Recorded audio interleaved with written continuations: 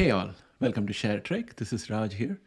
I was going to talk to you about Dr. Scott Kitchen from UCLA and his research, but since our last video, there has been no update. So I decided to move on to the next topic in my calendar, that is hydrogels and the future of long-acting HIV therapy that can remove the need for daily dosing. So in this video, what you can expect to find uh, is uh, all the developments that are happening uh, to provide once in uh, six months or once in two months kind of uh, dosing with a variety of different technologies, including li uh, lipid nanoparticles and uh, hydrogels and so on. With that said, let's get started.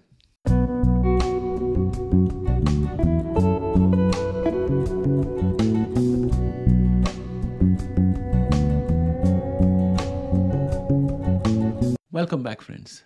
Let us look at the current landscape of HIV uh, treatment so that we can really appreciate where it is going and where it is likely to go in future.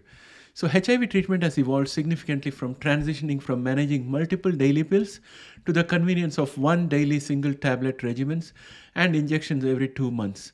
However, achieving viral suppression remains a challenge, with approximately two-thirds of diagnosed individuals in the US still working towards this goal. So if we take stock of the existing options that are doing the heavy lifting, we have Cabenuva, which is currently at the pinnacle of long-acting complete HIV treatment. It's administered every once or two, uh, twice a month by uh, healthcare providers.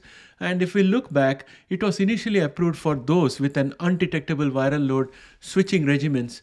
Recent studies have indicated sufficient efficacy for this regime for individuals without viral suppression. So we might expect some good news on that front very soon. Next, we have Apretude, which is an injectable con uh, containing uh, cabotegravir alone, and it suppresses traditional uh, PrEP pills in preventing HIV transmission. We also have Sunlenca, which is a groundbreaking HIV capsid, inhibitor administered every six months. It was initially approved for treatment experienced individuals with multiple drug resistant HIV, but it's right now under exploration for initial treatment and PrEP. And friends, when you talk about initial treatment and PrEP, that's a very big upgrade because only proven and uh, reliable therapies are uh, uh, allowed for uh, initial treatment. The more uh, speculative and experimental therapies are kept for the uh, last resort when a patient is in a difficult condition. So this is a very good um, improvement. So let us see if the FDA allows it uh, to become the initial treatment and PrEP. And now let us look at the future developments. First of all, we have Gilead Sciences, which is exploring the combination of Sunlenca with true uh, broadly neutralizing antibodies or BNABs as we call them. The objective here is to develop a comprehensive twice yearly regimen. So you have only uh, two shots in a year and pushing the boundaries of current HIV uh, treatment paradigms. So instead of once in one or two months, if you have once in six months, that is even better. And then we have the University of Washington's TLD in DCNP. Now you will ask, what is TLD in DCNP? So TLD in DCNP stands for tenofovir, lamivudine, and dolutegravir in drug combination that is DC nanoparticle. So that is TLD in DCNP. And this represents a promising new avenue. It utilizes advanced nanoparticle technology combining water soluble and insoluble agents for breakthroughs in drug delivery systems. Current uh, research data for uh, this indicates that it enables less frequent administration and maintains effective drug levels for four weeks after a single injection. In the TLD in dash DCNP formulation, researchers utilize advanced nanoparticle technology. This innovative approach involves combining water-soluble and insoluble agents, allowing for improved drug delivery systems and overcoming challenges in formulations. And then we have investigations ongoing in cell-targeted delivery. TLD and DCNP agents are not confined to a slow release depot like some long acting uh, medications.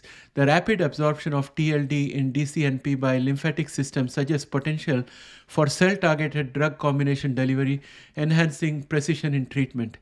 Next, we have Honggang Cui and his hydrogel formulation. I've already made a video earlier on Honggang Cui's team at uh, Johns Hopkins University who are pioneers of a hydrogel formulation of lamivudine. You can check that out in our uh, YouTube channel. Go to our um, channel homepage and there search for uh, Honggang Cui or hydrogel and you will find it. If not, just put it in the comment of any latest HIV video and uh, I will put a link out for you. Um, I'll also try to see if I could uh, remember to put a link for that video in the in the description of this one. Okay, so that said, you can uh, uh, count on Cui's hydrogels uh, coming with a potential um, long-lasting cure. Because uh, his hydrogels with their unique water absorbing uh, properties self-assemble into a gel after injection offering sustained drug release. So that gel uh, which create, gets created first then starts disintegrating and releasing uh, the drug into the body on a sustained manner. So Honggang Cui and his colleagues in, in, injected the lamivudine hydrogel into the backs of mice. A single injection was found to remain effective uh, and provide uh, effective drug concentrations for up to 42 days uh, in plasma and even longer in tissues such as lymph nodes, livers, and kidney while lamivudine injected without a, the hydrogel was undetectable within three days. So here is the deal, friends. If you just put uh, the same amount of lamivudine by injection directly into the patient, in the in this case it is the mice, uh, it became undetectable in three days, which means its half-life was over. It was gone from the system. However, when it was uh, converted into hydrogel and released into the body, it lasted for 42 days, providing sustained levels of uh, drug which was a viable level of drug to keep the virus under control. Now, their goal is in optimizing the dosing intervals. The goal is to extend dosing beyond intervals of that impressive 42 days that we saw. We are talking somewhere around six weeks. Uh, so that's a long period of time, but they are trying to get an optimized formulation uh, which might achieve intervals lasting several months or even longer providing enhanced convenience for patients. That's what they are working on. And if that succeeds, it could come into the market very quickly. Uh, elsewhere, work is ongoing for creating implants uh, that may dispense long acting HIV treatment. So, friends, we have already got implants which are in um, advanced stages of clinical trial for diabetes, type 1 diabetes, where um, the liver cells, which are called as uh, beta cells, are created and uh, put into a pouch and the pouch is implanted in the body of the patient, type 1 diabetes patient. And the pouch has got the pancreatic cells, which creates, uh, which creates uh, insulin for the body and maintains the person's uh, um, blood sugar level. So that's a technology that has already been tested. So the idea is to have a similar dispensing technology where you have an implant which will continue to um, provide uh, the uh, selected drug on an ongoing basis with the right amount of dosage so that uh, you don't have to dose very often. So researchers are exploring subcutaneous implant. Subcutaneous means under the skin implants for extended HIV treatment, similar to long-acting contraception. Such implants contain uh, will contain uh, islatravir, and uh, they seem to show promise and could potentially offer protection for several years, presenting a novel avenue for long-term uh, prevention.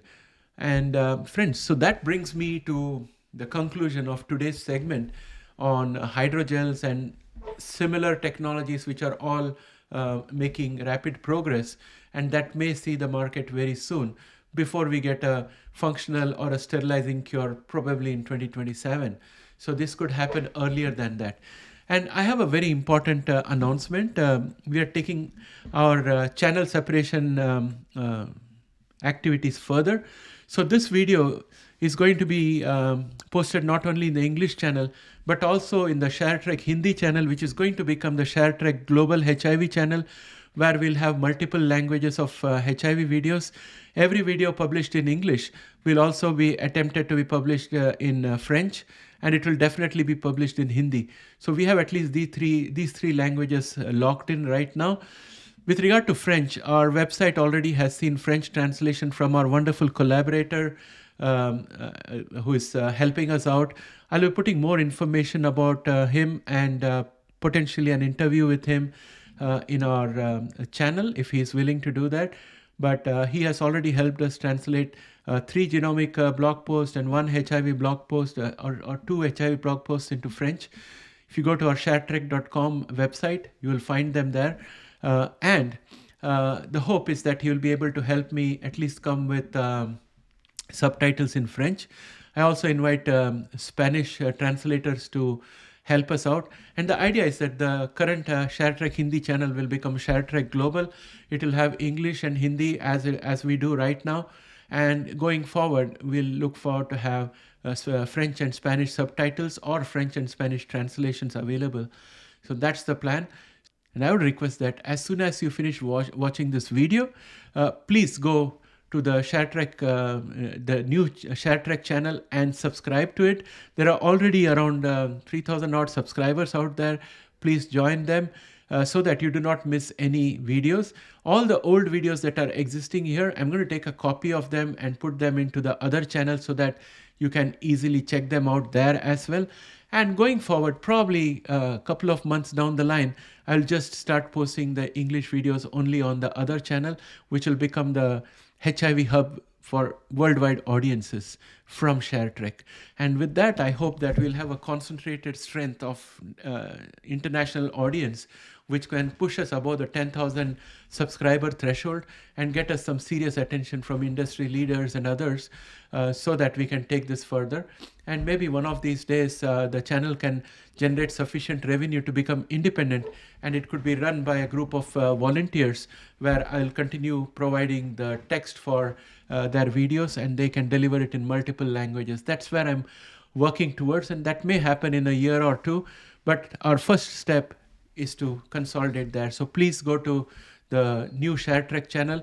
The link is in the description. Uh, if you press that link, it will take you directly to subscribe. Just press subscribe and you're done. You won't miss any videos. With that, my friends, I'd like to finish this video here. Thanks and have a great day. Bye for now.